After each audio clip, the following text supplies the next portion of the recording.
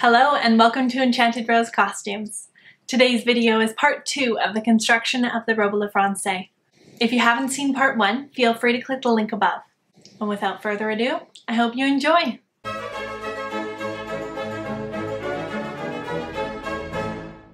The bodice pattern I used is from the American Duchess book. I enlarged it without any alterations and then added a 1 inch seam allowance all the way around my pieces for my mock-up.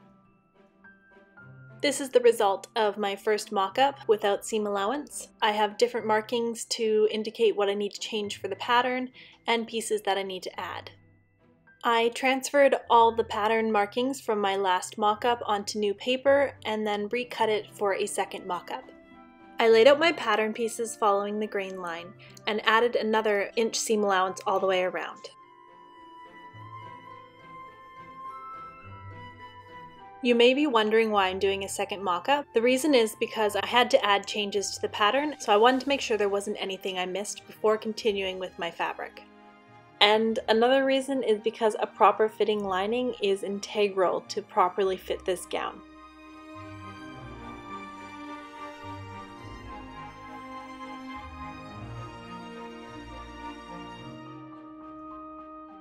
I next transferred the markings onto the opposite side of the fabric using carbon paper and my tracing wheel. You can kind of see light markings, so I went over it again with my heat sensitive pen. I then pinned together my bodice pieces and sewed together my second mock-up.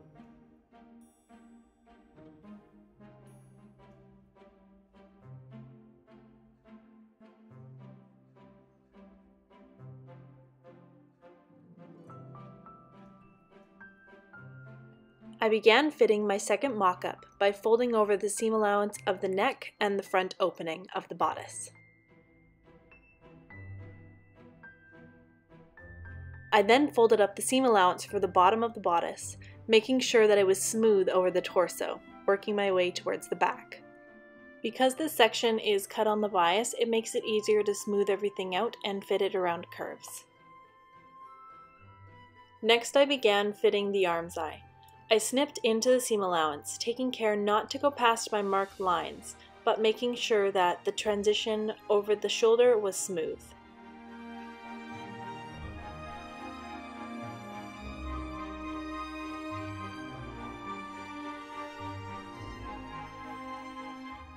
You'll notice that under my arm it is cut quite high.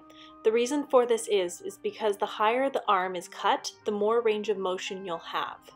It sounds slightly backwards, but it works. And here I'm just slowly clipping into the seam allowance again and just barely bringing it under the armpit. For the rest of this fitting, I just continued smoothing and folding over the seam allowance and making sure everything was lining up.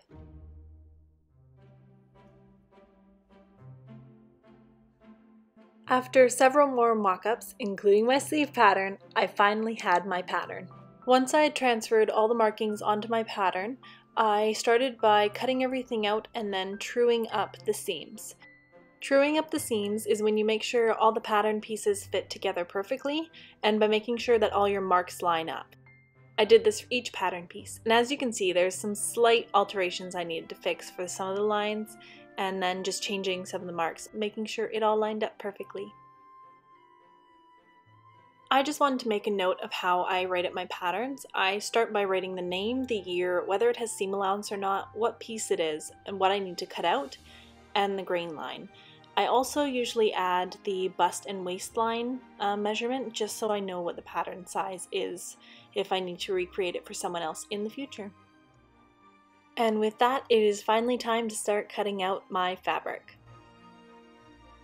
Just to be on the safe side, I still gave myself a 1 inch seam allowance around the bottom, the side, and the shoulder of the bodice, and everything else was a half inch seam allowance.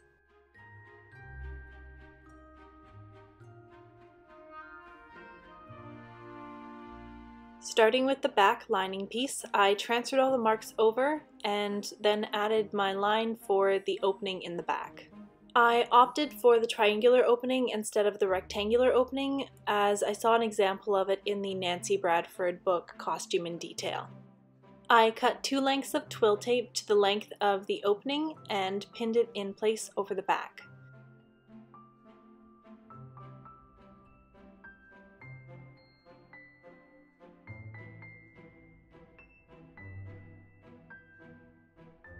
Going over to the machine, I stitched as close to the edge of the opening as possible, making sure to catch all the raw edges.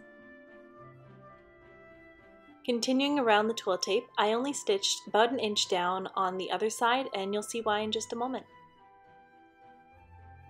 And then I repeated the process on the other side.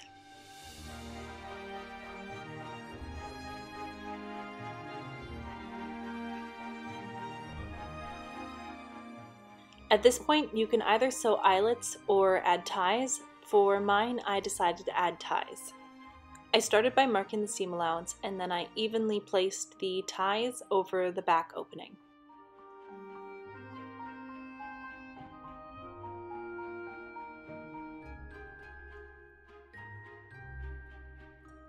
And this is why I didn't finish the edge. I tucked in the raw edge of the twill tape ties into the twill tape casing and then pin them in place before going back to the sewing machine and sewing them down.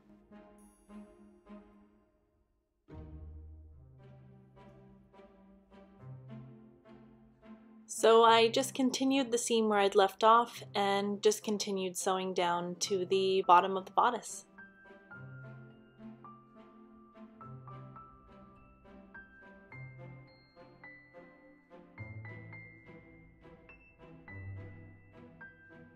And then I flipped the tie over and sewed it to the edge of the opening. To keep the ties out of the way, I tied them up and the back lining was ready for the next step. Before attaching the front bodice pieces to the back lining, I laid them out on my silk and cut it out. This was one of the silk panels that was in the back of my petticoat that I had to reclaim which is why it's a little narrower. You'll also notice I slightly have my pieces overlapping. Um, this is just the extra seam allowance, so I didn't worry about it because I'm going to be folding it over. Do keep in mind though that if you are going to do that, be careful where you are placing um, just in case you cut an area that you need. But yeah, if you do mess up, piecing is period. Also, I saved out all the pieces and made sure they were laying in the same direction because I'm going to be piecing my trim later on. And the next step was just lining up all my marks for my lining and continuing with the bodice.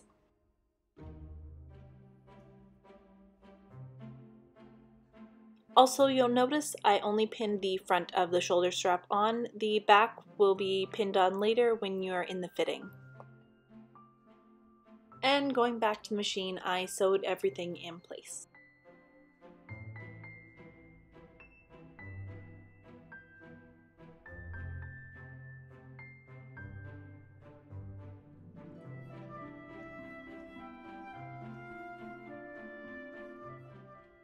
Next comes the fun part of pressing the seams. I recommend you press your seams every time you sew one. Uh, just keeps your garment looking very professional and it helps with construction process later on.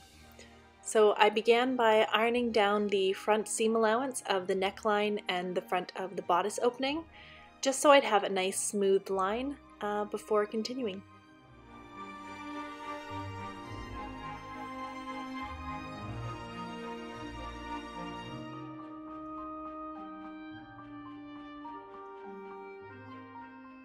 Moving on to the bottom of the bodice, I folded up the seam allowance and pressed it in place.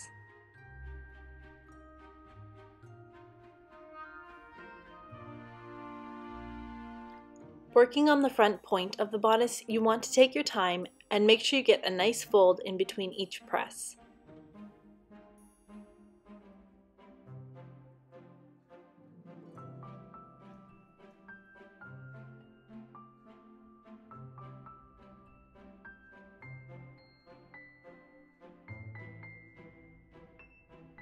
I pinned everything in place to cool and then I repeated the process on the opposite side.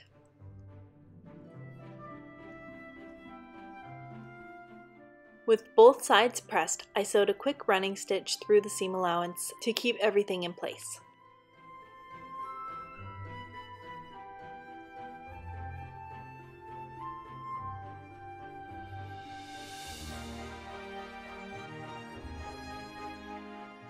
With the wrong side of the lining facing up, it was time to attach the silk.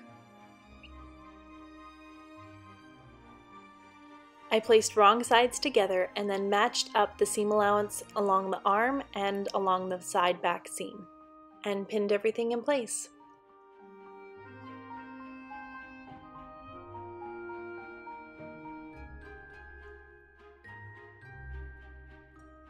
I folded back the seam allowance of the front, lining up the edges, and then moving the silk just a hair over top of the lining so it won't be seen from the outside once it's sewn together.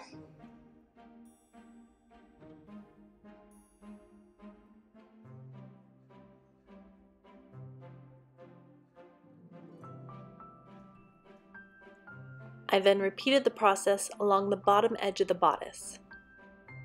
You really want to take your time folding this corner edge um, it took me a couple tries before I finally got it right.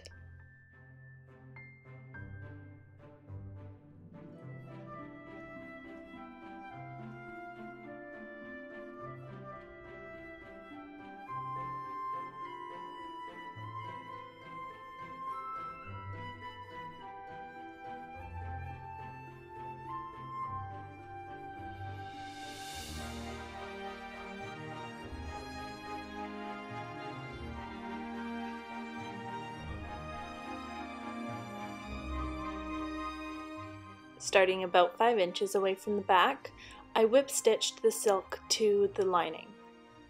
I made sure I only caught the seam allowance of the silk and didn't actually go all the way through to the front. And here's just a close-up to help make things more clear. I used this stitch all along the bottom of the bodice and the front of the bodice.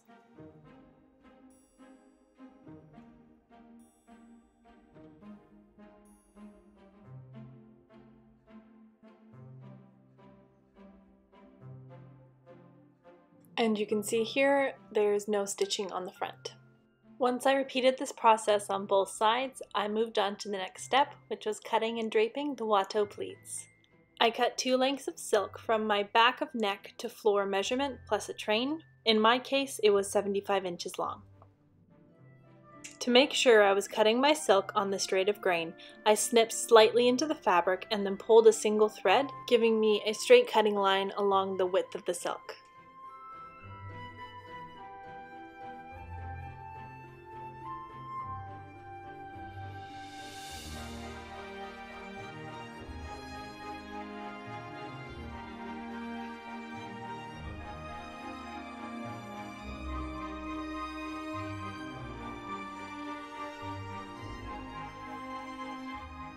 Next I sewed both of the panels together and pressed open the seam.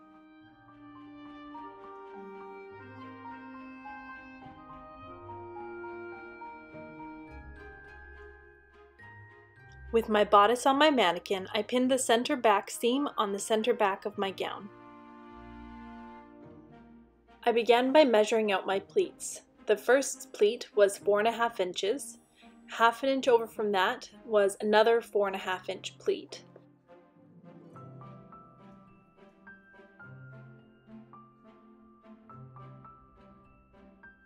Three inches over from that was a five and a half inch pleat. I layered this pleat in front of the last two pleats to give the outside a nice smooth appearance. Half an inch over from that was a 7 inch pleat and I put this pleat in behind all the other pleats.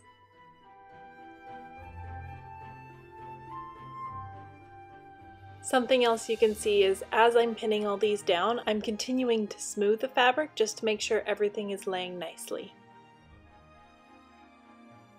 And behind the 7 inch pleat was the hidden 3 inch pleat.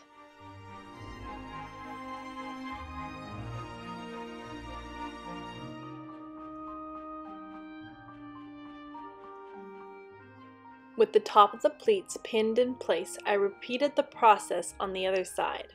Holy moly, that was a lot of peas.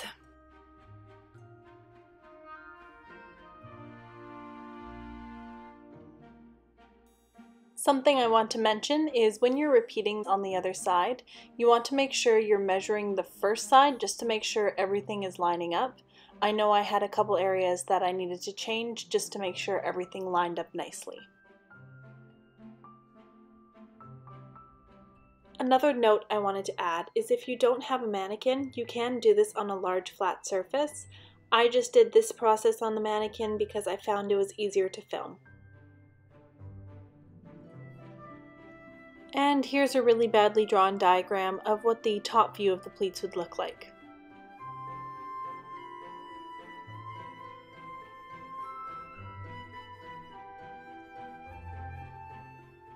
With the tops of the pleats pinned in place, I smoothed down the rest of the fabric and then measured down 4 inches and continued pinning across, making sure that all the pleats were even.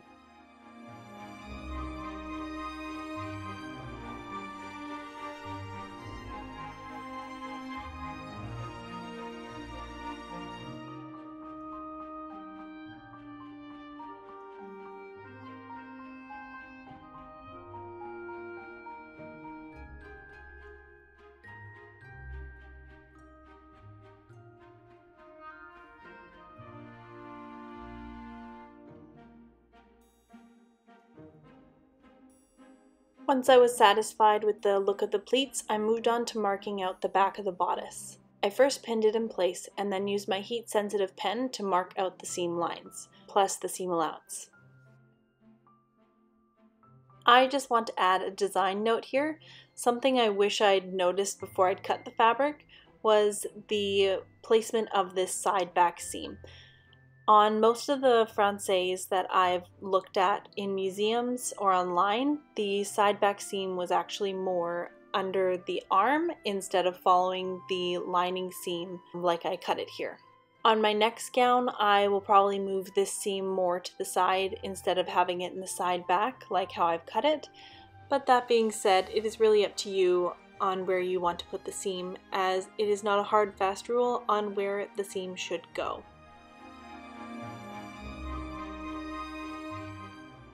The next step in the process was sewing the pleats to the lining.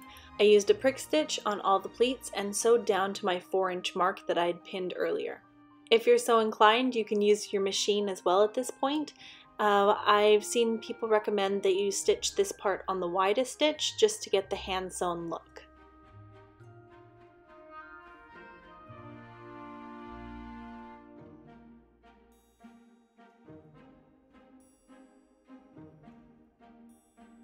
And here is a close-up of the prick stitch. Essentially, it's just a really small back stitch. Also, I'm sorry for my camera going in and out of focus. I really need to get a different lens for the close-up work.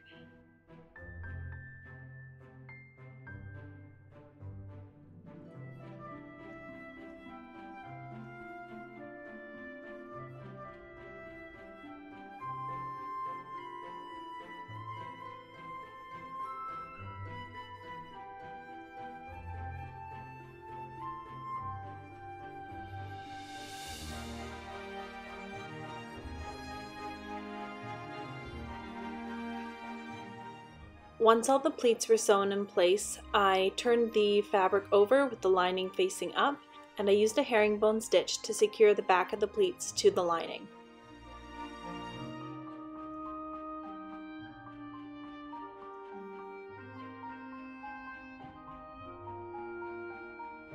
And with that, we are halfway through the construction of the Robe La Francais series. I hope you enjoyed today's video and I'd love to know what you think in the comments down below. If you're new to my channel and you like what you see, please click the subscribe button. I'll be back soon with part 3. I hope you have a lovely day. Bye.